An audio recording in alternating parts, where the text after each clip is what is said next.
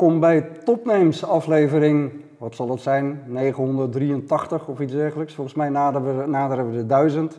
Of zijn we er al overheen? Ik weet het eigenlijk niet. Normaal zit ik hier natuurlijk samen met mijn maatje Erwin Blom. Uh, die was zo hard aan vakantie toe dat ik hem een weekje naar Turkije heb gestuurd, waar hij lekker op het strand zit met een biertje. Erwin, uh, geniet ervan. Uh, ik doe dit dus alleen, maar natuurlijk nooit helemaal alleen. want te gast is Jeroen van Velzen van Roadmap. Wat doen jullie, Jeroen, bij, bij Roadmap? Wij hebben bij Roadmap een, een, app gebouwd voor zakelijke reizigers. En die app is eigenlijk een soort virtuele reisassistent. En die begeleid je van huis tot thuis als zakenreiziger. Ja, en dat is puur voor bedrijven? Ja, het is puur voor bedrijven. Echt B2B? Ja, echt B2B. Je kan hem niet downloaden in de App Store. Ja. Um, en dat heeft ook te maken omdat we hem op maat maken voor het bedrijf. Dus het is een white label oplossing. Ja. Dus voor grote bedrijven maken we Wel voor grote bedrijven. Waar moet ik dan aan denken? Wat voor klanten? Uh, klanten zijn Microsoft, uh, Nike, okay, KPMG. Echte grote jongens. Echt, ja, hoe, hoe, groter, hoe beter in ons boek. Ja, want het, het moet er ook wel dan natuurlijk, ik vertaal even hoor, uh, zeggen als ik het verkeerd heb. Ja. Het moet natuurlijk wel bedrijven zijn die ook op een globale schaal opereren, want anders heeft het waarschijnlijk geen nut. Hè? Nee, dus je, je merkt de, de, hoe groter die bedrijven, hoe groter hun reisprogramma ook is. Ja. En hoe globaler ze reizen daarmee. En hoe groter ook het probleem is om die reiziger adequaat te bedienen tijdens de reis. Ja. En dat is ook het probleem wat we oplossen. Oké, okay, even het voorbeeld Microsoft, een van jullie klanten. Hoeveel uh, mensen hebben dan van zo'n bedrijf die app op hun telefoon staan? Op dit moment bijna 30.000 uh, medewerkers. Ja. Uh, op een populatie van 80.000 reizigers. En, en, en wat is dan uh, uh, wat die app doet? Maak het voor ons heel tastbaar. Want een, een reisassistent, oké, okay, ik denk, ja, een vliegticket, ja, dat kan je zelf tegenwoordig ook boeken. Ja. Dus daar zal het niet over gaan. Wat, wat, hoe... nou, de, de, beste analogie is eigenlijk hoe het vroeger zou gaan. Je? Dus als ja. wij op reis zouden gaan, dan, dan, printen we ons reisschema uit, doen Ja. het in een plastic mappie. Ik kreeg van mijn secretaresse altijd van die mapjes. Ja, daar ga je, en, je, en, je, en je geeft ze de kost, want die zijn er nog steeds. En dat zijn er echt heel veel. Die moet je niet onderschatten, zelfs in dit soort bedrijven. Werkt ook prima trouwens. Ja, dit doet zijn ding. Hè, dus dat is het ook. Het enige probleem is dat ding is statisch. Dus dus Ja. wat wij eigenlijk hebben gedaan, is die informatie van dat reisschema afhalen. Vervolgens in een app gemaakt en hem vervolgens live gemaakt. Dus dat betekent, eh, ik begrijp hoe laat je vlucht gaat. Ik begrijp wat eh, de verkeerssituatie is. Ik begrijp waar je hotel is. Ehm, en ik begrijp ook namens het bedrijf hoe je je moet gedragen. Want dat is ook wel een thema. Dus binnen het bedrijf, je bent niet de consument. Maar het bedrijf wil ook dat je veilig op reis bent. Dus daar moeten we over nadenken. Uh, ze moeten nadenken dat ze niet al te veel geld uitgeven. Um, maar we kunnen ook de kennis van de collega's gebruiken. Dus uh, Jantje, Pietje, Klaasje was hier al eerder. En dat, die was ook eigenlijk op dezelfde locatie, want ze reizen ook in veel gevallen op de, naar dezelfde plekken toe in de wereld. Yep. En die kennis kunnen ze ook delen met elkaar. Waardoor jij als individu niet elke keer als een toerist de stad binnenkomt en moet gaan uitvinden hoe werkt dat eigenlijk. Want je bent zakenreiziger. Ja, en die wil gewoon zijn werk doen. Die wil gewoon. Uh... Maar het is heel praktisch, of dat probeer ik even te doen. Ja. Ik ben medewerker van Microsoft, ik moet naar, weet ik veel, naar New York. Uh, ik zie gelijk in het hotel waar ik zit, hebben collega's uh, twee maanden geleden ook gezeten. Ja. Die hebben in de app misschien ook laten weten Ja. waar ze gegeten hebben Ja. en of het goed of niet goed Precies was. dat. Dat soort dingen? Ja, precies dat. Dus uh, wij komen na de boeking binnen. Dus je boekt je reis, of je secretaresse boekt je reis, nog via die platformen die er al, uh, al tientallen jaren zijn. Ja. Dan krijg je een dag voordat je op reis gaat, krijg je van ons een pingeltje. hey, je gaat uh, morgen of overmorgen ga je op reis. Ja. Uh, klik hier om de, de app te openen. Daar staan al je reisgegevens in. Er staat je vluchtgegevens in, je hoteldata, alle transportinformatie in, de- in, de- in de tussentijd. Dus dat, dat is allemaal, allemaal voor, je, voor je gedaan. Ja, dat doet die secretaresse? Of Ja, dat, dat, doet het systeem. Het systeem heeft dat. Iemand moet het invoeren? Nee, dat is, hij gaat volledig automatisch. Ja. Dus we pakken de boeking van die reisagent en dat vertalen we naar een reis. In feite hoeft alleen maar iemand in de backend aan te geven dat persoon X op reis gaat en een boekingscode erin. Ja, en, dat, en dat, ook dat proces is volledig geautomatiseerd. Oké, ja. Dus dat, dat, eh, dat was wel. Dus jullie hebben koppelingen met luchtvaartmaatschappijen, met hotelketens, met... met eh, we, we hebben al die systemen hebben eigenlijk geaggregeerd om het voor Ja. de gebruiker in één overzicht te krijgen. Ja. En, en dat is ook eigenlijk, hè, de, de, de premisse is, is eigenlijk alles op één plek. Dus Ja. ik hoef niet 15 apps te Nou, ik zit even naar de backend te denken. Wie Ja, triggert, ja, wie triggert dan dat de juiste data, eh, data er eh, op het juiste moment in loopt? Ja, dus, dus de agent maakt de boeking. Dus daarin staat, eh, weet ik wat, de KL 1, 2, 3, 4. Ja. Wij v- gaan dan in al die systemen, wat is de KL 1, 2, 3, 4? Wat is de vertrektijd? Van welke gate gaat die? Daar hebben we weer sources voor. Dus daar, en daar biedt eh, Schiphol biedt zijn data daaraan, maar KLM biedt zijn data daaraan. En wij kijken vervolgens wat is de beste provider op die locatie. En dat geven we vervolgens aan de reiziger weer terug. Dus daarmee geven we de real-time vertrekinformatie. Ja. Dan krijg je het hotel. Dan krijg je tussen de airport en het hotel, hey, wat zijn de, de optimale transportroutes? Dus dan krijg je Rome to Rio, Google Maps, Lyft, Ja. Uber, al die API's integreer je. En daarin maak je een overzicht. En dan krijg je de keuze, oké, hoe kom ik daartussen? Nou, die, die kan je boeken binnen de app. Kan je zeggen, nou, ik, ik wil mijn lift of mijn Uber of ik wil de, de trein daarin in hebben. Dan kom ik op mijn hotel. Daar staan alle gegevens in. Dan kan je ook zien, wat heeft het bedrijf voor mij ingekocht? Dus joh, de wifi is included en je, je ontbijt zit erin. Ehm, en je kan eh, later uitchecken. Dus je koppelt ook met die hotelketens. Ook met die hotelketens. Ja. Vervolgens in de buurt zien we via Foursquare zien we eerst publiek welke informatie er in eh, aan En dat restaurants doe je ook echt met Foursquare ja, data? met Foursquare data. En die overleven vervolgens weer met corporate data. hey, Jantje Pietje die vond dit een 8.7. Ja. Dus dat is een, eh, een goed restaurant. Dus die zetten we eh, daar erin. Daar jij de keuze weer niet. Het is natuurlijk ook wel fijn dat zakenreizigers over het algemeen ongeveer hetzelfde doen. Ja, binnen die bedrijven. Maar per bedrijf is het ook weer Oh, heel anders. weer heel Ja, ja, ja, het is echt heel grappig. Lijkt me namelijk best leuk om te ontdekken. Ja, eh, Ja. Dat, dat is het ook. Dus je, je Nou, ik, ziet... zit- ik bedoel vooral, eh, je bent op zakenreis. Dus je, je, je wil eh, snel maar goed eten. Ja. Je, je, je wil geen sightseeing, maar je wil een efficiënte taxi. Ja, Het is allemaal net wat anders. Het is net even iets anders dan de consumenten, consumentenhandel. Ja. En, en, en dat is ook precies wat je probeert te doen. Het is de, typologie van, ik wil wel een ervaring, want ik ben wel in een andere stad. Ja. Maar ik wil het wel efficiënt hebben en ik wil niet te lang erover nadenken. Ja, En dat is eigenlijk de, de, de, de, de consumer experience die je probeert te maken. precies. En als je het vertaalt, en nogmaals, ik vertaal het even vanuit de gewone consument, want dat zijn de meeste mensen die zitten te kijken. Als ik op reis ga, dan heb ik mijn KLM-app nodig voor mijn tickets. Dan heb ik mijn Schiphol-app nodig om te kijken waar, welke gate het is en of die gewijzigd wordt, want dat doet de KLM niet. Ja.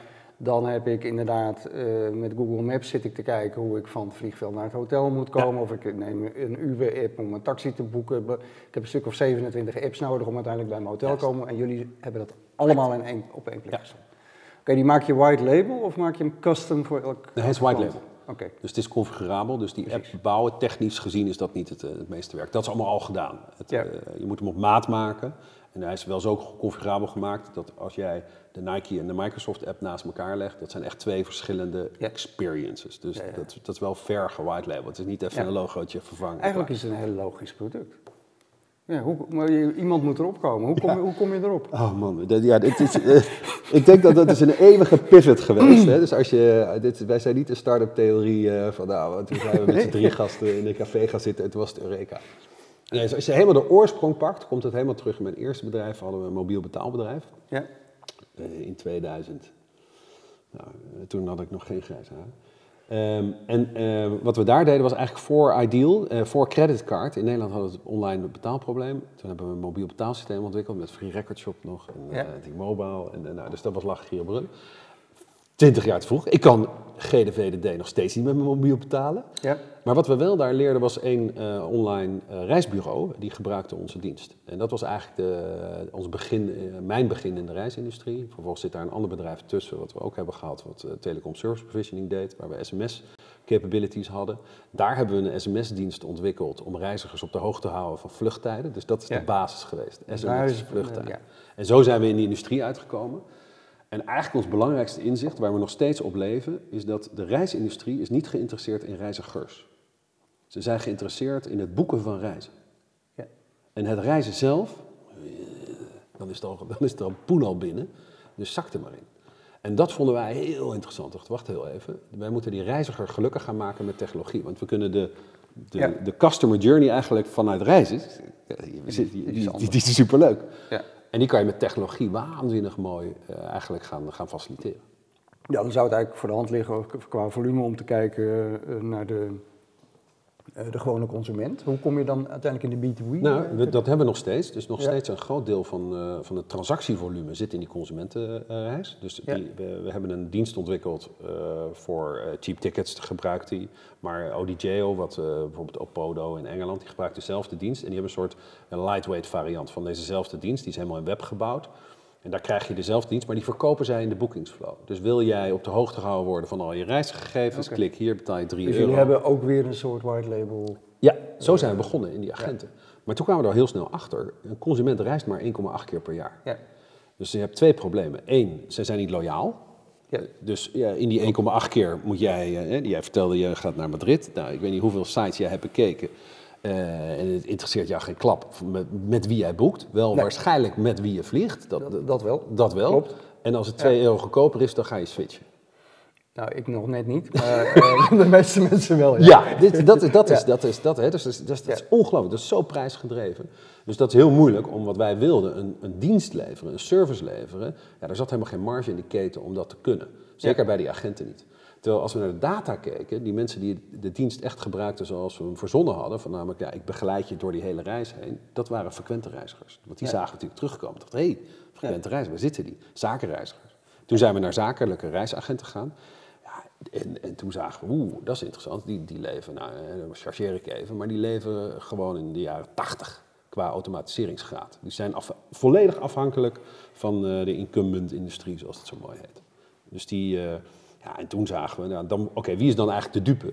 Ja, dat is eigenlijk de zakelijke klant. Dus dat is, de, dat is het, eh, het bedrijf wat uiteindelijk al die zakenreizen inkoopt. Toen dachten we, hey, daar moeten we zijn. En toen eh, hebben we het helemaal omgekanteld. Zijn we ons daarop Hoe lang is dat geleden? Hm? eh, 2015 hebben we die, 2015. die shift gemaakt. Toen hebben we die agentenhandel zijn we mee gestopt. Ja. Toen hebben we die consumentenhandel, die hebben we wel altijd eh, gehouden.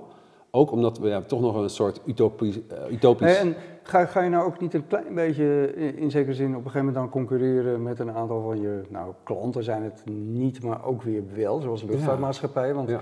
die hebben natuurlijk tot op zekere hoogte ook de ambitie om dat totaalpakket te bieden. Want die, die gaan ook steeds verder in die keten. Want. KLM die is ook gewoon begonnen met tickets, maar inmiddels kun je alles boeken in de KLM-app. Ja, maar wat, wat het Ja. interessante is voor KLM, zeker met die grootzakelijke markt, zij kunnen weer niet op maat voor Nike een product maken. Ja. Dus als KLM en Nike gaan zitten, als je bijvoorbeeld Amsterdam Portland KLM kijkt- gaat natuurlijk nooit boeken bij een andere maatschappij voor ze. Nee, dus dat, dat, dat is een thema, al- alhoewel ze dat wel kunnen. Maar het gaat eigenlijk over dat KLM ook geïnteresseerd is... kunnen wij voor die hele grote klanten ook diensten op maat maken... buiten al die systemen die ze hebben. En dat zijn allemaal oeroude systemen die al 50 jaar werken. En daar kunnen zij heel moeilijk dingen op maat maken, wat wij wel kunnen.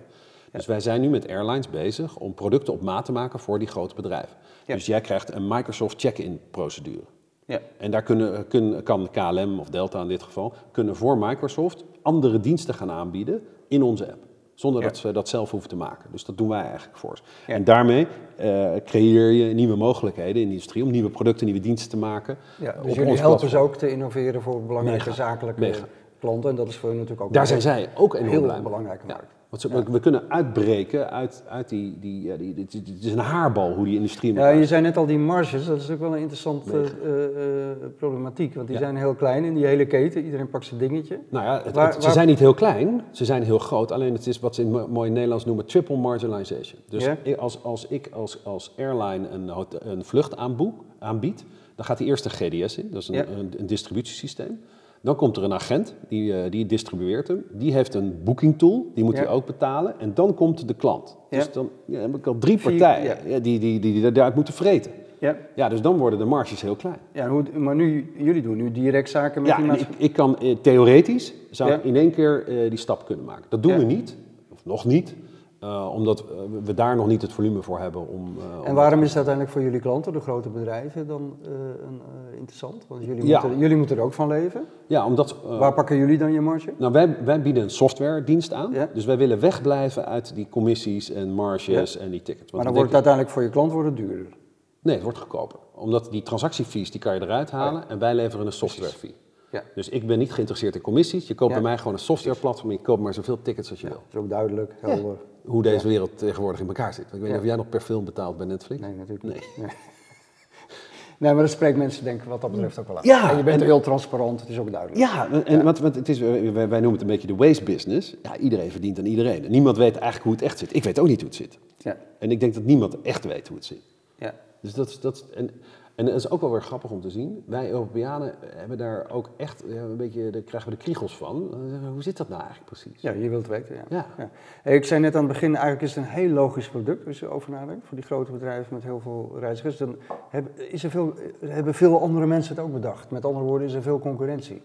Nou, niet wat wij doen, waar, we bij dat platform volledig onafhankelijk van al deze... Maar Ja. deze industrie, ja, die ziet wel natuurlijk, ja, lakker dak. Nou, maar je hebt niet, niet echt op, op wat jullie maken. Nee, nee Ja. dat bestaat niet. Dat is op zich vrij wonderlijk. Ja. Ik begrijp het ook wel, omdat het zo ingewikkeld is om hier te komen. Ja. Dus je moet echt dit hele stukje begrijpen. Precies, en wat is de grootste complexiteit? Is dat het integreren met al die verschillende Ja. partijen uit de Ja, ketens? want, en, en, ook de, eh, de, de, de kwaliteit van de data is dramatisch. Ja. Dus een vlucht is geen vlucht en een hotel is Ja. geen hotel. Ja, het is Dus weer al die partijen anders Allemaal gestructureerd. allemaal Ja, ongestructureerd. ja, allemaal één voor één moeten integreren. Ja. Ja. Ja. Ja, dus dat dat, is, dat, is, dat is monnikenwerk.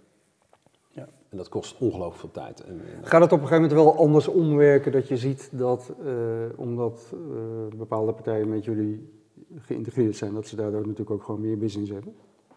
ja, nog niet. Die, die, deze mensen niet. Die zien ons nog een beetje als vijand. Ja. Eh, maar bijvoorbeeld een hotelketen zal uiteindelijk ook wel zien dat, dat ze, tuurlijk. als zij Microsoft eh, eh, binnen willen hebben, Dat ze met jullie moeten Ja, integreren. en dat zie je dus bij die nieuwe providers denken meteen. Hè? Dus Ja. de Lyft en de Ubers, die begrijpen meteen. Oh, Ja. zit, ik wil op dat platform Ja. zitten. maar, dus- maar de Four Seasons vinden Nee, dat nog dat, vinden nog heel ingewikkeld. Dat is, oeh. Ook omdat de waste business, want ja, je weet niet hoe die commercieel directeur uiteindelijk afgerekend wordt. Dus dus om, die, om die businessmodellen te doorbreken, ja, moet je echt. eh, Vandaar ook dat wij, eh, wij heel. Ja, eh, want het, ook dat hadden we niet verzonnen. Wij, toen wij het lanceerden, gingen we naar een beurs in New York. Toen dachten we, nou, Amerika, daar reizen ze echt heel veel. Laten we het daar lanceren. Europa komt wel. En toen dachten we dat, dat voornamelijk snel groeiende bedrijven, dat dat onze markt zou zijn. Die, die willen innoveren. Ja, toen bleek opeens dat de Microsoft, de, de, de, vent die, die, die travel management eh, doet bij Microsoft, zat in die jury van, de- van de awards waar, waar we ons hadden ingeschreven. Ja. En die zei, ja man, dit- hier dromen we al jaren van dat dit kan. Dus jullie hebben, hebben echt iets heel, heel moois in handen. En toen werd, werd eh, Microsoft werd niet onze eerste klant, dat was Pfizer, die grote pharma. En die, die hadden, we hadden al een heel project begonnen. Die hadden al 50 keer uitgegeven wat wij ze ooit gaan rekenen. Om alleen het project te starten al. En die, zijn dat meteen gestopt. En die, die zijn toen met ons in zee gegaan. En toen Ja. werd Microsoft het. En, en toen, ja, toen zagen we, ja, hoe groter die klant, hoe beter. Wat Ja. ons in die game onwijs helpt. Want ja, al die suppliers. Ja, als ik met Nike en Microsoft binnenkom, zegt Delta, joh, ga zitten. Ja. Terwijl als ik zeg, hallo, ik ben Jeroen uit Delft van Roadmap, zegt hij, Ja. eh, Ja. Heb je, heb je, hebben jullie veel moeten investeren om op dit niveau eh, te komen? Want met name Ja. al die integraties zijn natuurlijk... eh, Ja, dat is nou, we hadden één mazzeltje dat ons, eh, in eh, ons vorige bedrijf heeft eh, Amadeus, een van die grote incumbents. eh, daar hebben we onze technologie in eerste instantie aan gelicenseerd. En zij hebben de grootste deel van die investering hebben zij eigenlijk betaald. En eh, daar zullen, ze zullen een aantal jongens later wel slapeloze nachten van krijgen dat zij dat gefinancierd hebben. Maar, eh, dus daar hebben we, hebben we heel, veel, heel veel mazzel mee gehad. En toen, we, de- toen naar corporate, ja, nou ja, wat veel geld? Ja, ik vond het een hele hoop geld. Ja. En, jullie hebben inmiddels een paar grote betalende klanten. Ja. Eh, ik las dat jullie vorig jaar nog een investeringsronde hebben Ja. gedaan. eh 4 miljoen of zo. Ja. Klopt? ja, Ja. Waar heb je dat voor nodig? Want je zou denken met zulke klanten ja, ben je gewoon gezond en eh, kun je zelf Nou, doorinvesteren? Ja, dus toen we, toen we gingen investeren waren we inderdaad, hè, dus, dus wij zijn wel eh, echt ondernemers en strappers. Dus wij Ja. houden wel van onafhankelijkheid en ik wil ook nooit met mijn rug tegen de muur geld ophalen. Dus wij waren Ja. toen cash break-even. Dus we Ja. werken naar cash break-even. We hebben het zelf daarna gebracht en toen zijn we gaan investeren. Oké, ja. Dat, en dat, en dat, dat is eigenlijk wat we continu blijven doen. precies. Heb je ook een heel ander gesprek. Ja, heb je een heel ander gesprek. Ja. En ik denk ook dat dat een. eh, Want onze markt is niet, groeit niet zo snel, omdat ja, het zit allemaal zo vast, dat we als een beest eh, op snelheid moeten gaan. Ja. We, we bouwen dit bedrijf echt op kwaliteit. En eh, omdat je, ja, je kan iets voor heel lang doen. Ik denk dat dat veel belangrijker is. Dus dit En geld wat- hebben we voornamelijk in product geïnvesteerd. In het product? Ja. Oké, om dat gewoon echt top of the beeld te Ja. krijgen. En ik kan me ook voorstellen dat als je eenmaal in die si- situatie bent, dus dat je die, die, eh, die, die bedrijfsapp kunt maken, waar je in eerste instantie natuurlijk de noodzakelijke dingen in integreert, eh, die ze anders ook nodig hadden. Dus eh, vliegtuigen, hadden het er al over, vliegtuigen, vervoer, hotels, weet ik wat. Dat je dingen, dingen aan toe kan voegen Ja, die nee. gewoon leuk zijn. Ja, super. No- Noem er eens een paar. Nou, het eerste waar eh, onze... Dat wordt natuurlijk ook een soort sociaal bedrijfsplatform, ja, nou ja, toch? absoluut. Een van de dingen is bijvoorbeeld, ja, ik ga naar New York en eh, ik zou het heel graag willen koppelen aan mijn Spotify voorkeuren. Waarin ik weet, oké, wat voor concert is er toevallig diezelfde avond? Ik ben er Ja. toch. Hè, dus dus dat, dat, dat, dat is een thematiek waar we het over hebben. Dat gaat vaak over, ehm, in, in, de, in de handel noemen ze dat bleisure. Hè? Dus je, je mixt eh, business, Business en en, pleasure. en leisure Ja. bij elkaar. Dus dat is een heel groot thematiek. Maar ook, eh, ik wil het weekend blijven. Dus, dus dan krijg je ook een soort mix en match van eh, leisure en, en business travel. Dus dat, dat, Ja. dat is een hele interessante gedachte. Ja. En ook dat je kijkt van, hé, hey, wacht heel even. Ik, ik zie dat jij nog vier uur vrije tijd daar hebt. Want ja, ik zie je kalender, ik zie je reisschema. In die Ja. vier uur raad ik je dit aan. Want dit is echt een experience die je nog kan pakken. En doe je dat helemaal location-based, ik bedoel verder gaan dan op stadniveau?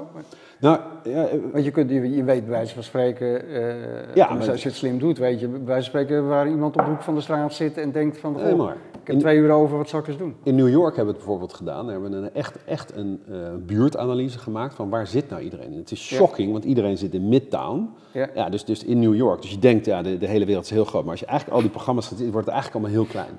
En dan Ja. ga je Midtown, ja, dit zou je het eigenlijk helemaal in kunnen zoomen. En dat loont ook nog met de hoeveelheid reizigers die je hebt. Ja. Dus ah, ja, de, de theoretisch kan je daar waanzinnig mooie dingen mee doen. Ja, jullie integreren al met Foursquare. Hè? Ik, Ja. ik zag in maart die nieuwe dienst die ze gelanceerd hebben. eh, die ge- geaggregeerde dienst waarbij ze op stadniveau weet je, precies laten zien wie waar is. Dus dat je ziet waar de clusters van activiteiten zijn zijn ook al fascinerend. Ja, en ik zie Ja. het natuurlijk op bedrijfsniveau. Dus Ja. ik zie precies hetzelfde, Ja. alleen dan vanuit bedrijfs. Ik zou daar logo's op kunnen plakken. Hoe, dat, hoe dat zou werken op bedrijfsniveau. Ja. Ja, dan heb je ook nog de historische data. Dus Ja, ik, de- je kan er heel veel coole dingen Je mee. ziet dat Microsoft mensen altijd hetzelfde rondje lopen. Ja, ook, ook daarin zit je, zie je weer heel veel verschil. Want dat is ook weer heel leuk. Want, maar dat is natuurlijk, weet je wel, dat is de big, eh, het grote ding natuurlijk. Kijk, op basis van die, die, die datapatronen, iedereen lult natuurlijk over personalisatie. Maar de stappen naar personalisatie zijn tenminste net zo interessant. Hè? Dus voordat je Ja. al die groepen klassificeert en dat je segmentaties hebt, gewoon oldschool marketing. Uh, alleen daar al is het super interessant om dat gedrag zo te boksen en dan te zien hoe het dan weer geplot wordt. ja, gebruiken jullie daar al eh, zelflerende systemen voor? Dat je... Nou, zelflerend zijn ze nog niet. Eh, die, die, de, de clustering en de algoritmes, eh, dus dat soort, gewoon de machine is nog eh, aan het leren, maar de AI-component zijn we nog niet. Dus er zijn wel de machine learning technologieën om, om die allemaal te bouwen.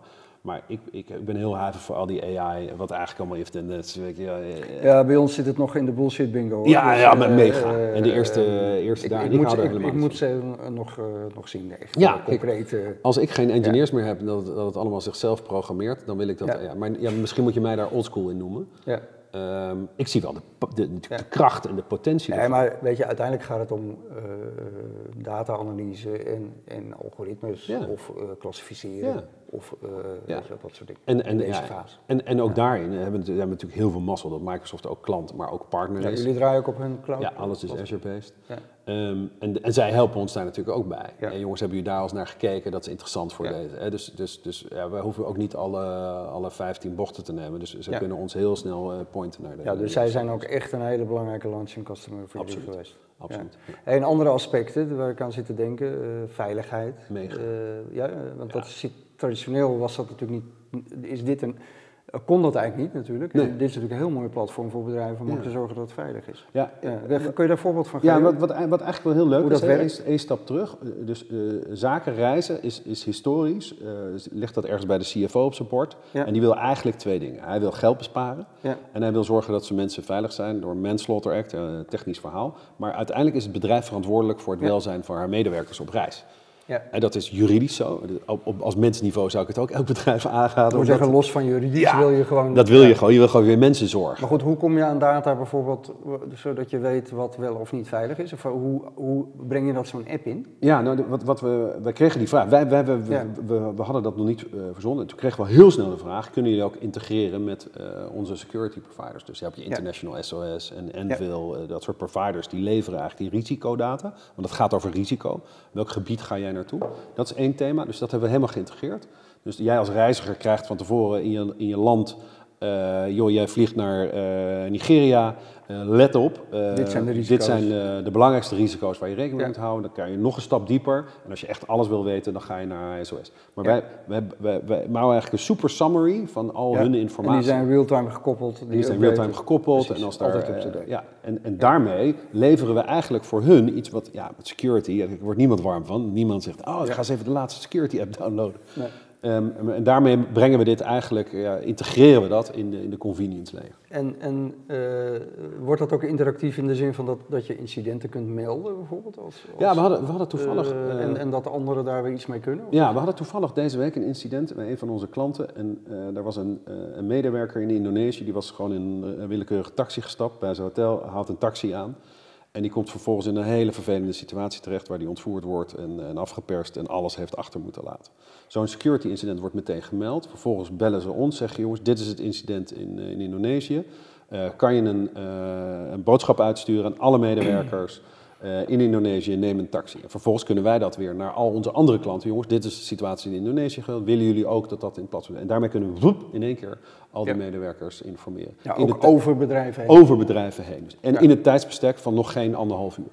Ja, Terwijl in de normaal die ouderwetse processen, joh, je, voordat ze dat verzonnen hebben, ben je al om twee dagen verder. ja. ja. Dus dat is heel gaaf. Wat we ook aan doen zijn, is ook heel leuk. Met dan werken we weer met een andere start-up. Kunnen we ook heel makkelijk integreren. Waar we het op buurtniveau weten. Dus eh, jij loopt door- door San Francisco. Je denkt, "Huh, wat is hier aan de hand? Je opent je app. Vervolgens ziet hij meteen op buurtniveau. Let op, dit is de gevaarlijkste wijk van San Francisco. Ja. Jij als eh, lesbian of gay eh, moet hier helemaal weg. Vrouwen alleen. is niet Ja. de buurt om te zijn. En daar Ja. kunnen we ook fences omheen bouwen. Ja. En vervolgens kunnen we daar tegen bedrijven zeggen... joh, dit zijn de buurten niet waar je in bent. Maar dan, dan, dan wordt, die, wordt dat echt op een gegeven moment natuurlijk gewoon een, een persoonlijk assistent die, jou in het buitenland gaat helpen. Want je kunt dat inderdaad geofensen, kun je helemaal personaliseren op basis van je locatie en zeggen Juist. van goh, je Wat zijn die- jouw triggers? Wat zijn jouw risk levels? Precies, En je- zeker, maar ook je loopt die wijk in en eh, prima als je weet wat je doet. Juist. Maar even voor de zekerheid, dit is niet de veiligste wijk Ja. van Washington. Ja. En, en, en dus daarmee, en dat is echt hè, wat wij altijd zeggen, ja, die angel in your pocket. Dat is wat je, waar je naartoe wil. Gewoon, ik hoef er niet over na te denken. Ik weet, Ja. Weet je, iemand heeft me... Dro- eh, Zit je nou, droom je nou ook wel eens om dit toch voor de gewone consument te gaan doen? Want er Ja, zitten heel veel, heel veel dingen in, in jouw app waarvan ik denk van nou, Wil ik ook wel. dat ja. wil ik ook wel. Ja. Ja, zeker.